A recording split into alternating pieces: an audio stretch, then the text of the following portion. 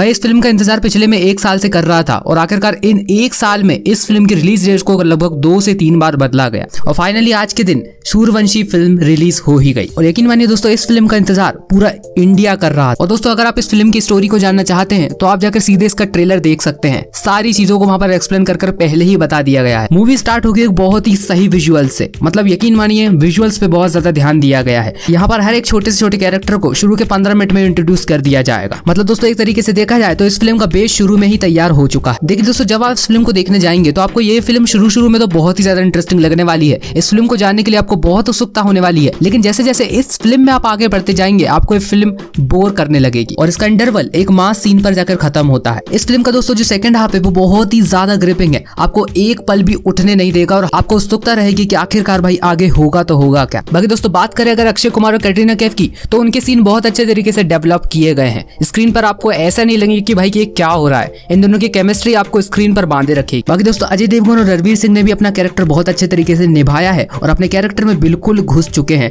हमें सिंघम और सिम्बा की बहुत अच्छे तरीके से याद आ जाएगी। भाई दोस्तों, इस फ़िल्म का ड्रॉबैक यही है कि भाई इसके सॉन्ग्स इस फ़िल्म में सॉन्ग्स की बिल्कुल भी ज़रूरत नहीं थी, लेकिन ना जाने इसमें सॉन्ग्स क्यों डाले गए। रोहित शेट्टी की फ़िल्म में भाई रोमांस करना भी ज़रूरी है। अगर मेरे पॉइंट्स ऑफ़ व्यू से इस चीज़ को देखें तो यहाँ पर सूरवंशी फ़िल्म में बिल्कुल भी सॉन्ग्स की ज़रूरत नहीं थी, अगर आयला और आयला की बात ना करें तो। बाकी दोस्तों, बात करें अगर फ़िल्म के बैकग्राउंड म्यूज़िक पर तो वो बहुत ही सही बनाया गया है। रोहित शेट्टी की और फ़िल्मों की तरह, यहाँ पर इस फ़िल्म का बैकग्राउंड म्यूज़िक भी बहुत अंडर है। बात करें दोस्तों स्टोरी की तो स्टोरी बहुत ही ज़्यादा कॉमन है। ऐसी स्टोरी अपने पहले भी बहुत देख चुके हैं। लेकिन दोस्तों एक एग्जीक्यूशन और डेवलपमेंट जो स्टोरी का है, वो यकीन मानिए बहुत ही सही है। बाकी दोस्तों इस फ़िल्म को आप परिवार के साथ देख सकते हो, कोई भी दिक्कत नहीं आने वाली। और हाँ भाई, अगर आप सूरवंशी से एक यूनिक स्टोरी एक्सपेक्ट करके जा रहे हो तो भाई बिल्कुल मत जाना। लेकिन अगर आप एक एक्शन मूवी देखने जा रहे हो तो भाई प्लीज़ चले जाना। जो लोग भाई बड़े स्क्रीन पर एक्शन को देखना पसंद करते हैं उनके लिए तो भाई ये मास्टरपीस फ़िल्म है। बाकी दोस्तों सिनेबॉय की तरफ़ से मिलते हैं। इस मूवी को पाँच में से तीन स्टार एक स्टार कटेगा यहाँ पर भद्दे सॉन्ग्स डालने के लिए और एक स्टार कटेगा कॉमन स्टोरी लाइन के लिए। और कॉमन स्टोरी लाइन हम सब एक्सपेक्ट नहीं कर रहे थे। हमने सोचा था कि इस बार कुछ नया देखने को मिलेगा।